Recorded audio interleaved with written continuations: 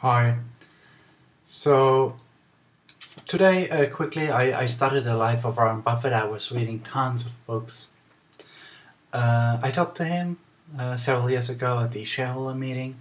I talked to his partner, Charlie Munger, and I, I was reading books about uh, Bill Gates a lot. I was reading about um, other people like our um, Steve Jobs from Apple. And so I, I put some uh, 16 tips together how to live your life and uh, it sounds a little psychologically like a little uh, strange but I, I put those tips together because it's not just about making money it's uh, how to live your life and I think what what is important for those people and we can a little bit at least try we should try to copy them and it's so easy so 16 tips. The first one is when, when you look at Warren Buffett he once mentioned it uh, you need idols. Pick some idols great idols for your life. To people you can look up. Once you have them it will change your life completely. Uh, he had uh, Benjamin uh, um, his uh, a professor Benjamin Graham and um, this was his motivator this was one of his idols and it uh, he said it changed his life. So secondly a second uh, tip i have for you money was never a motivator. I think never for steve jobs never for a musician like john lennon never for i wouldn't even say never for donald trump. He wanted to build buildings and move some stuff uh, warren buffett said. His first job he took on Wall Street, he told his professor Benjamin Graham, he said, I love that work. I I like what you do. I'm impressed. I'm fascinated. I would like to you for nothing. I don't need any payment. I work for technically he said I work for free and the professor accepted it later on he paid him a salary but he Buffett never asked for it right now he makes a hundred thousand dollar a year salary even he uh, is one of the best investors in the world he does not need more he does not want more he just takes $100,000 you should ask your fund manager how much he or she makes. You will be surprised. So, uh, third um, uh, well, I think what for Warren Buffett and a lot of others we can look up to uh, make different. They Warren Buffett would never negotiate. If he buys a, a family business if they ask a fair deal, a fair price, I think Warren Buffett would, he said, never negotiate the price. He rather wants to have happy people, a, a great deal for them and for him, and he wants to have them on board and as partners. And uh, he wouldn't go to negotiate a million. It doesn't matter to him. The most important thing is to have motivated and a happy seller, and to have them on board as a partner and that's what all counts. Fourth, be honest. I think they all try to be honest and they don't try to rip off a client or a partner.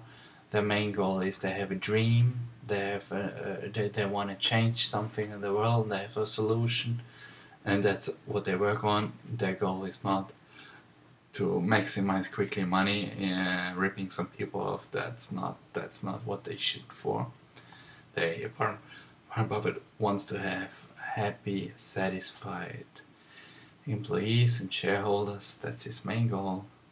Fifth, they Warren Buffett, for example, lives below his means. Uh, he he uh, drives an old car. John Lennon had his bed on the floor. He didn't really care about even he had all this money and uh, together with Ono, uh, Steve Jobs, he um, Steve Jobs lived uh, also very poorly. Uh, I, I was reading he had no furniture, nothing in his uh, in his apartment. He had a nice lamp and the mattress on the floor. They are driven by their jobs, by their dreams, and uh, not by things. They, they, they really don't get excited about things. Even even so, uh, what I have to mention is that um, Steve Jobs built a, a, yacht, but look, before he died. It, it wasn't finished, but still. But Warren Buffett never get, got, uh, gets excited about luxury things. He just wants to live an easy, regular lifestyle. And um, um, the fifth thing is what I said: live below your means. The sixth, sixth thing, all put some money on the side, all save up, all all of them or most of them um, don't uh, live a luxury lifestyle. They avoid debt and credits and loans. They don't usually use credit cards. Seventh, they invest long term. If they build something up, they want to keep the stocks for the long run.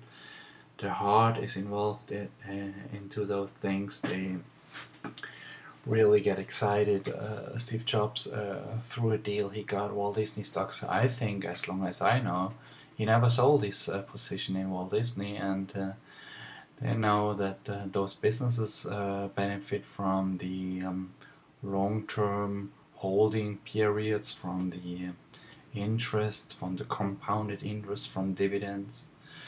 They also want to avoid taxes, avoid taxes. The more they trade, the more transaction costs they have and taxes. Eighth a step you should consider is if somebody wants to sell your product, Warren Buffett always says, think how much they make when they sell you that thing, the product. And if you understand it, it's good, it's better for you. Ninth, be surrounded by the right people in your life. They always are very picky and choosy, and um, they say excellent characters you can learn from, and you should copy them. Tenth, read, read, read. They all read a lot. They love books. They love magazines. They read newspapers. They are well educated. And they, they, they read business reports, quarterly reports. They go online. They um, also would watch a video 11th, um, they work like heck.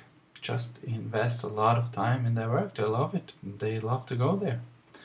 12, they um, usually are good um, in talking. They, uh, Warren Buffett said he had a lot of anxieties uh, in talking and he went and learned to talk, to, to speak in front of a group and that was very helpful for his life. He would recommend that also everybody. 12 was to talk. 13th is just be be a good person, trust in others. Most people are nice people. You have intuition that tells you 99%, 0.9 are not enemies. 14th, trust people. 15th, take care of your family. Family is I think for most of them very important and they value them and they help them.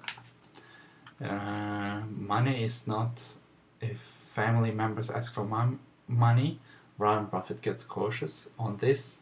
I have to say, in regards to money, he's not helpful. Anything else, I think, he would try whatever he can to help a family member. He always admired his parents and uh, that counts for them. 16th, they donate for great things. Bill Gates donated almost all, he wants to donate all his wealth he has with uh, Melinda Gates. That's great. Warren Buffett is doing the same. And uh, I think Steve Jobs, unfortunately, he died too early. He would have done the same too. And a lot of successful people donate a lot, and they have a, they are part of the Giving Pledge, what Warren Buffett decided to set up and people are helping each other and giving back to society. I think that's uh, also very important for the regular guys. And uh, these uh, were my 16 tips. And um, one more thing is they are, uh, Steve Jobs says, the very th important thing I think is he says, don't be worried. The, don't be nervous. Be very optimistic. Contact those people. If you have a dream, you have to, to do it. Don't be shy. He called when he was 16 one of the founders of Hewlett Packard and talked to them and said, I want to do this or that. Can you please help me? And they said, Sure, we're going to help you. We're 16 years old. He said, Don't be afraid. If you have a dream, if you have if if if you have an idol, you just should shoot for it. If your heart is involved and you're motivated, it will probably. I think uh, it will work out very well. And if not, it's not a disaster. Okay, these are my sixteen ideas out of the life of people like uh, Steve Jobs, Warren Buffett, and Bill Gates. Okay, I hope you're very successful. Pick your idol and be happy. Bye.